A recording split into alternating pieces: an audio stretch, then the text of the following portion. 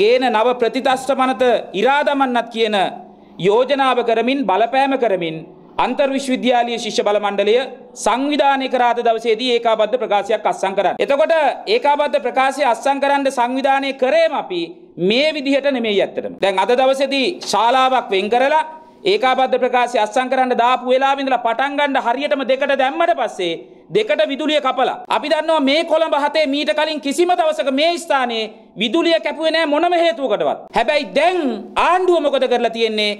අපි හිතනවා දැන් මේ කොහෙවත් තියෙන ඕපපාතික හේතුවකට විදුලිය කපලද? නෑ හරි පැහැදිලි. මේ ඒකාබද්ධ ප්‍රකාශය අත්සන් කරන එක නතර කිරීමට අදාළව විදුලිය කප්පාදු කරලා තියෙනවා. ඒ වගේ මෙතනින් එහාට එහා පැත්තේ තියෙනවා ජෙනියක් ජෙනියෙත් තෙල් ටික නැතුව හරියට මේකත් පටන්ගෙන යද්දිත් පැය භාගෙන් පැය භාගෙට මේක ඕෆ් වෙන දැන්ට අදාළ මැදිහත් වීම වෙලා. එතකොට හරි පැහැදිලි. ආණ්ඩුව ඊටාම සැලසුම් සහගතව ආණ්ඩුවට ඕනකම තිබුණ පහුගිය කාලේ රටේ ජනතාව පාට එන එක නතර කරන්න රටේ ජනතාව මහපාරය අරගල කරන එක නතර කරන්න අයිතීන් ඉල්ලන එක නතර කරන්න. ඒක ප්‍රතිඵලයක් විදිහට තමයි හන්දියක් හන්දියක් ගන්න උද්ඝෝෂණ කරද්දී ඔලු පැලෙන කල් ගැහුවේ.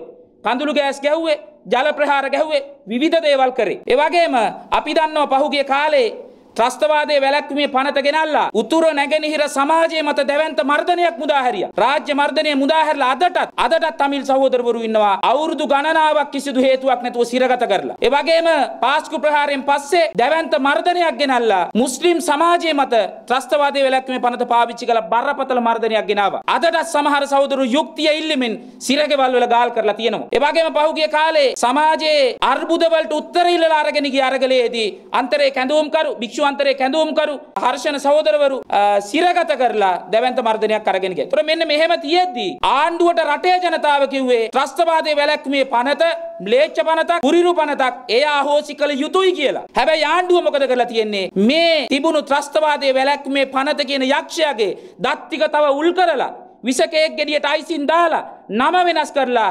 නැවතගෙනල්ල තියෙනවා ත්‍රස්ත විරෝධී පනත කියලා. PTA කියලා තිබුණ එකේ P එක අයින් කරලා ඒ අකුර දාලා. ඒම තමයි වෙනස් කරලා තියෙන්නේ.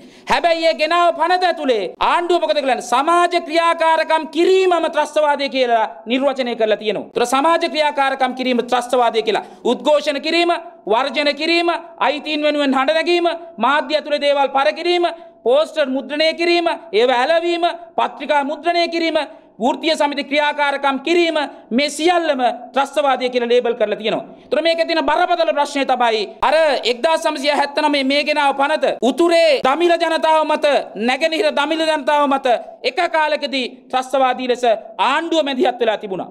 ඒ වගේම පාස්කු ප්‍රහාරයෙන් පස්සේ මුස්ලිම් ජනතාව මත ඒ පතුරවලා තිබුණු මර්ධනය දැන් මුළු සමස්ත සමාජයක් පුරාවට ආණ්ඩුව පතුරලා තියෙනවා. ඒතර මේක බරපතල තත්වයක්. ඒ නිසා තමයි අන්තර් විශ්වවිද්‍යාලීය බල මණ්ඩලයට අපි විශ්වාස කරන්නේ මේ පනත පාර්ලිමේන්තුවට එන්නත් කලින්ම පරාජය කරන්න ඕන, ඉරා දාන්න ඕන, හන්දියක් හන්දියක් ගානේ පුච්චලා විනාශ කරන්න ඕන. ඒ නිසා අපි විශ්වාස කරනවා මේ පනත අහෝසි කිරීම සඳහා දැවන්ත මැදිහත් වීමක් අවශ්‍යව තිබෙනවා. මොකද පාර්ලිමේන්තුව කියන ගුබ්බෑයම ඇතුලේ පහුගිය කාලේ ජනතාවට විරුද්ධ අනපනත් ඕනෑ තරම් සම්මත වුණා. ඒ සම්මත වුණු අනපනත්වල ජනතාව පීඩාවට පත් කරන බදු ප්‍රතිපත්ති ගෙනල්ලා පොකට් ගහන ජනතාවගෙන් ඒ වගේම ජනතාවට පීඩාවට පත් කරන උද්දමනයට කිසිදු උත්තරයක් නැතුව ජනතාව හූරගෙන කරන තැනට විවිධ අනපනත් ගෙනාවා. වෘත්තීය සමිතිවල ක්‍රියාකරන නිදහස් සීමා කරන දාලා පනත් ගෙන්න දාලා වටපිටාව හැදුවා. ඒ වගේම මෙන්න මේ විදිහේ ගොඩක් ගෙනල්ලා පාර්ලිමේන්තුව ඇතුලේ ඕන ඕන සෙල්ලම් රනිල් වික්‍රමසිංහල පොහොට්ටුවත් එක්ක එකතු වෙලා කරගෙන යන්න දාලා පසුබිම පහුගිය කාලේ නිර්මාණය කරගත්තා. ඒ නිසා අපි දැනුත් විශ්වාස කරනවා ඔය පාර්ලිමේන්තුව කියන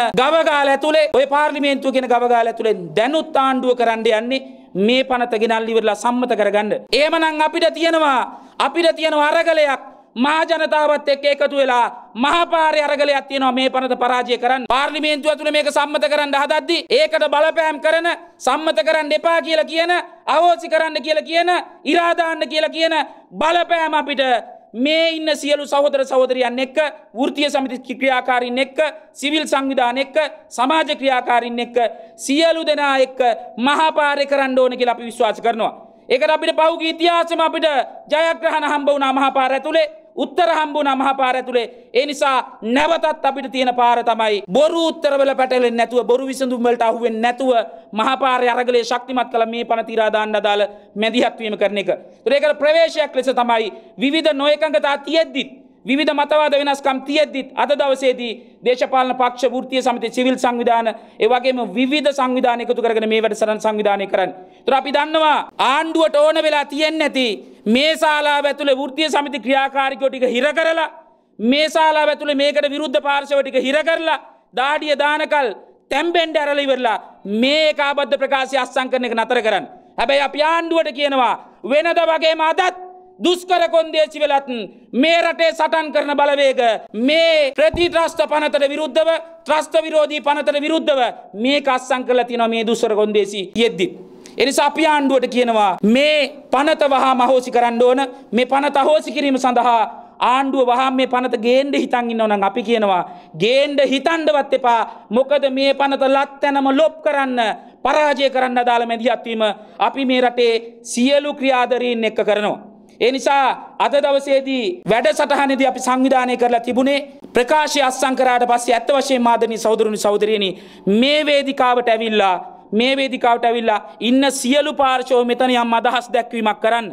හැබැයි දැන්ඒකට යම් බාධා ප්‍රමාණයක් ඇවිල්ල තියෙනවා මේ ශාලාව ඇතුළ විදුලිය කපල තව පැයභාගයක්වත් මේ විදුලිය තියනාලෝකයක් පවත්වගෙන යන්න බැරි වෙලා ඒවගේ පැයගානක් අපපු විදිර තවමත් එවන් නැති වෙලා ආණ්ඩු උත්සා කරමිනි නො මේ කසාර්ථ කරන්න. එනිසා අපි මෙතන ඉන්න සියලුම වෘතිය සමිති සිවිල් සංවිධාන සමාජ ක්‍රියාකාරීන් ගාලුමුදර අරගල කළුවන් කලාකරුවන් සියලු දෙනාට ආරාධනා කරනවා. අපි මේ ශාලාවෙන් එදිරියට ගිහිල්ල ශාලාවෙන් එලියේ අපි මාධ්‍ය වල සහෝදරරුන්ට ආරාධනා කරන එතන මේ සියලු සහෝදරවරුන්ගේ නිවේදන සහ ඒ අදාළ ඔවුන්ගේ දැනුවත් කිරීම සහ බලපෑම් සහගත අදහස ලබා ගැනීම සඳහා මේ ශාලාවෙන් පිටතර යමු කියලා අපි ඔබ සියලු දෙනාටම මාධ්‍යවේදී හිතවතුන්ටත් වෘත්තීය සමිති සිවිල් සංවිධාන ක්‍රියාකාරීන්ටත් සියලු දෙනාට ආරාධනා කරනවා.